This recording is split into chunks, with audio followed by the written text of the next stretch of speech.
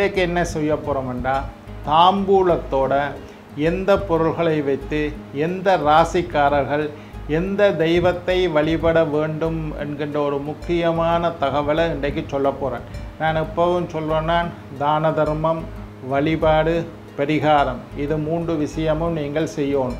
வாழ்வியல் பரிகாரம் உண்டு. இன்னும் ஒரு விஷயத்தையும் நான் என்னட்ட ஜாதகம் பார்க்க வர ஆக்களுக்கு சொல்லிக் கொடுப்பேன். மூண்டா பிரித்து இதை சொல்லிக் கொடுப்பேன். இன்ன பரிகாரம் செய்ய வேண்டும்? இன்ன வழிபாடு செய்ய வேண்டும் இன்ன தான தர்மம் செய்ய வேண்டும் என்று நான் என்னட்ட வாராக்களுக்கு சொல்லிக் கொடுக்குறேன்.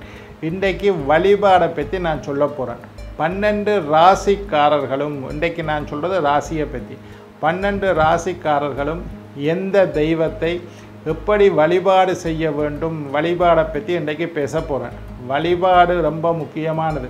பன்னெண்டு ராசிக்காரர்களும் பொதுவாக எல்லோரும் எல்லா தெய்வங்களையும் வழிபட்டு வரலாம். எல்லா முறைகள்லையும் வழிபட்டு வரலாம். ஆனாலும் ஜோதிட ரீதியாக சில குறிப்பிட்ட வழிபாடுகளை பற்றி சொல்லியிருக்குது.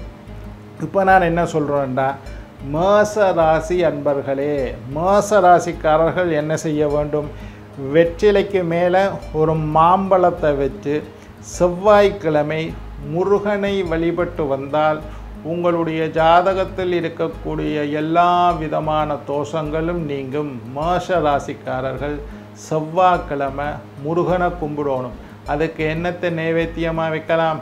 வெத்திலையை வச்சு வெத்திலைக்கு மேலே மாம்பழத்தை நைவேதனமாக வைத்து மேச ராசிக்காரர்கள் வெற்றிலையும் மாம்பழத்தையும் செவ்வாய்க்கிழமை முருகனை வழி வைத்து முருகனை வழிபாடு செய்து வந்தால் உங்களுடைய ஜாதக ரீதியாக இருக்கக்கூடிய யோகங்கள் அதிகமாக இருக்கும் ஜாதகத்தில் ஏற்பட்ட தோஷங்கள் முழுமையாக நீங்கிவிடும். இது மேஷ லக்னக்காரர்கள்.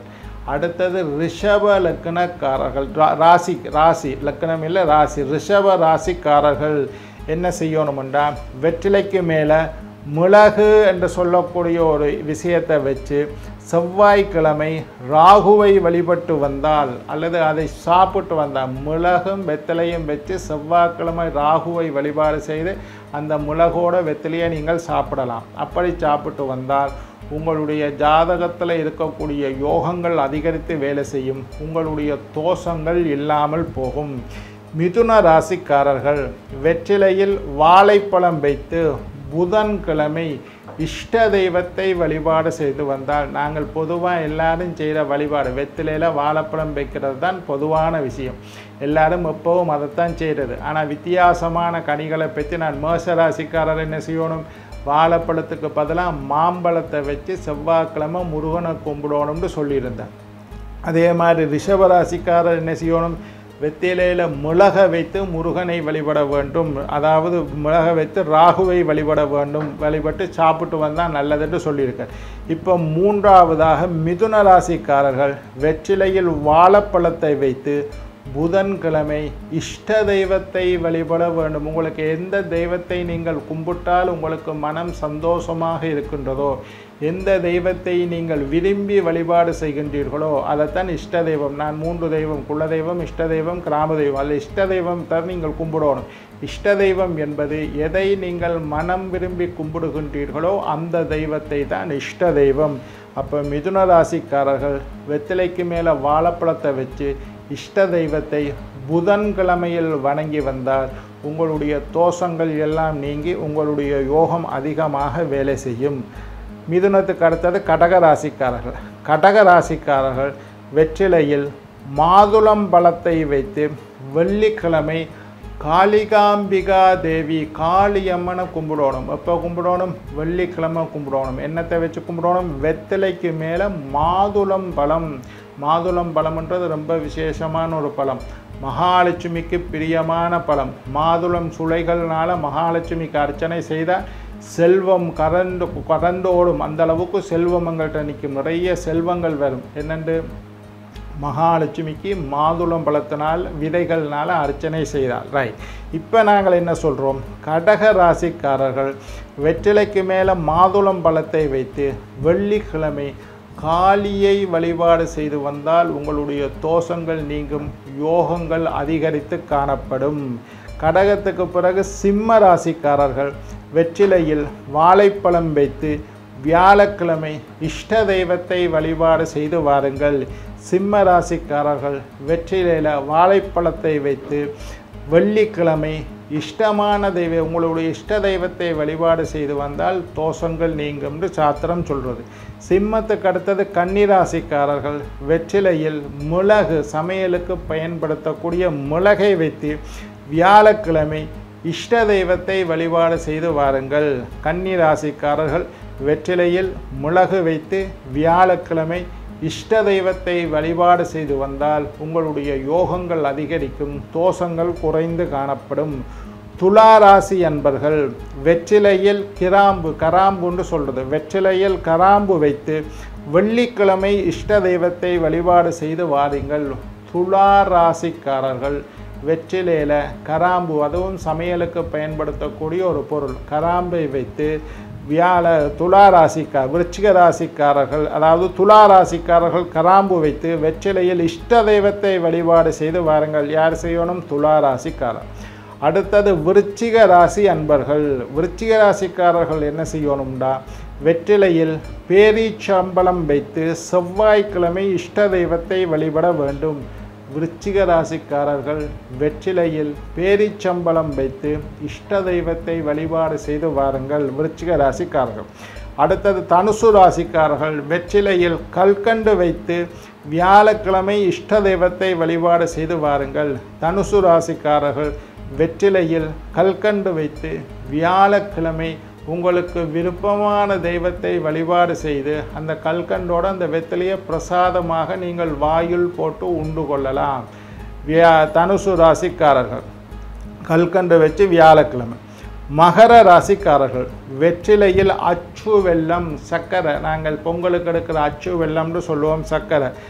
மகர ராசிக்காரர்கள். வெற்றிலையில் அச்சு வெள்ளம் சர்க்கரையை வைத்து சனிக்கிழமத்தை காளியம்பாலை வழிபாடு செய்து அந்த அச்சு வெள்ளத்தோடு அந்த வெற்றிலையை சாப்பிட்டு வந்தால் உங்களுக்கு காளியம்மனின் பரிபூர்ணமான அனுக்கிரகம் கிடைக்கும்.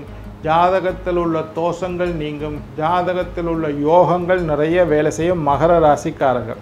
கும்ப ராசிக்காரர்கள் வெற்றிலையில் நெய் வைத்து சனிக்கிழமை காளியம்பாளை வழிபாடு செய்யுங்கள். கும்பராசிக்காரர்கள் வெற்றிலையில் கொஞ்சம் நெய்யை பூசிட்டு சனிக்கிழமையில் காளியம்பாளை வழிபாடு செய்து அந்த வெற்றிலையை நீங்கள் சாப்பிட்டு வந்தால் உங்களுக்கு மேலும் மேலும் யோகங்கள் அதிகரித்து காணப்படும். அடுத்தது கடைசியாக மீன ராசிக்காரர்கள் மீன ராசிக்காரர்கள் என்ன செய்யணும்டா? வெற்றிலையில் சர்க்கரை வைத்து அச்சு வெள்ளம் சர்க்கரை வைத்து சனிக்கிழமையில் நீங்களும் என்ன செய்றீங்கள் காளியை வழிபட்டு வந்தால் உங்களுடைய யோகங்கள் நீங்கும். என்ன நேர்களே இன்றைய தினம் முக்கியமான ஒரு பரிகாரத்தை பற்றி பார்த்தீர்கள். பன்னெண்டு ராசிக்காரர்களும் என்ன தெய்வத்தை வழிபட வேண்டும்? என்ன கிழமையில் வழிபட வேண்டும்? தாம்பூல வழிபாடு வெற்றிலையோடு எதை சேர்த்து வழிபாடு செய்ய வேண்டும்? சில பேருக்கு சில ராசிக்காரருக்கு மாம்பழம் சொன்னேன். சில ராசிக்காரருக்கு பேரிச்சம்பழம் சொன்னேன். சில பேர் ராசிக்காரர்களுக்கு மிளகு சொன்னேன். சில மா ராசிக்காரர்களுக்கு கராம்பு சொன்னேன். இந்த மாதிரி வெத்திலையோட எந்த பொருளை வைத்து எந்த கிழமையில் என்ன தெய்வத்தை வழிபட வேண்டும் என்கின்ற விஷயத்தை நான் சொல்லியிருக்கேன். இந்த விஷயத்தை நீங்கள் தொடர்ந்து செய்து வந்தால் உங்களோட ஜாதகத்தில் இருக்கக்கூடிய யோகங்கள் இன்னும் கொஞ்சம் அதிகரித்து யோகங்கள். இப்போ உங்களுக்கு புதாதித்த யோகம் இருக்கா? இன்னும் அதிகமாக வேலை செய்யும். குருவும் கேதுவும் சேர்ந்தால் கேளக யோகம் கோடீஸ்வர யோகம் அதுவும் வேலை செய்யும். குஜமங்கல யோகம் வேலை செய்யும். குருசந்திர யோகம் வேலை செய்யும். உங்களுடைய ஜாதகத்தில் தடைப்பட்டு வேலை செய்யாமல் இருந்த யோகங்கள் வேலை செய்யும். ஜாதகத்தில் ஏற்பட்ட தோஷங்கள் நாகதோஷம் கலத்திர தோஷம் மாங்கல்ய தோஷம் செவ்வாதோஷம் புத்திரதோஷம் புத்திர தோஷம் போன்ற தோஷங்கள் இல்லாமல் போகும். தெய்வத்தினுடைய பரிபூரணமான அனுக்கிரகம் என்ன கிழமையில் என்ன தெய்வம் என்றதை நான் சொல்லியிருக்கேன். அந்த கிழமையில அந்த தெய்வத்தை உங்களுடைய ராசிக்கு ஏற்ப வழிபாடு செய்து வந்தால் எப்பவும் நாங்கள் வழிபாடுகள் செய்து கொண்டே இருக்க வேண்டும். வழிபாடு வந்து ஒரு தரம் இல்லை. பல முறை விரும்பிய நேரமெல்லாம் வழிபாடு செய்ய வேண்டும். நாங்கள் தெய்வத்தை வழிபட வழிபட வழிபட எங்களுடைய சாபங்கள் நீங்கும் பாபங்கள் நீங்கும் தோஷங்கள் நீங்கும். எந்த தெய்வத்தை வேண்டுமானாலும் எப்பொழுது வேணுமானாலும் யார் வேணுமானாலும் வழிபடலாம். ஆனால் நாங்கள் குறிப்பிட்டு சொல்லியிருக்கிறோம் இன்ன ராசிக்காரர் இன்ன கிழமை இன்ன தெய்வம். எந்த தெய்வத்தை எப்பொழுதும் யாரும் வழிபடலாம் என்பது பொதுவான விஷயம். எந்த தெய்வத்தை வழிபட்டாலும் உங்களுக்கு பலன் உண்டு. ஆனாலும் உங்களுடைய ஜோதிட ரீதியாக எந்த ராசிக்காரர்கள் என்ன கிழமை எந்த தெய்வத்தை வழிபட வேண்டும் என்று சொல்லி அந்த வழிபாடு செய்து நீங்கள் நீண்ட ஆயுள் நிறைந்த ஆரோக்கியம் நீங்காத செல்வத்தோடு வாழ வேண்டும் என்று வாழ்த்தி வணங்கி விடைபெறுவது உங்கள் ஜோதிட சித்தர் டாக்டர் ராஜராஜ குருக்கள்.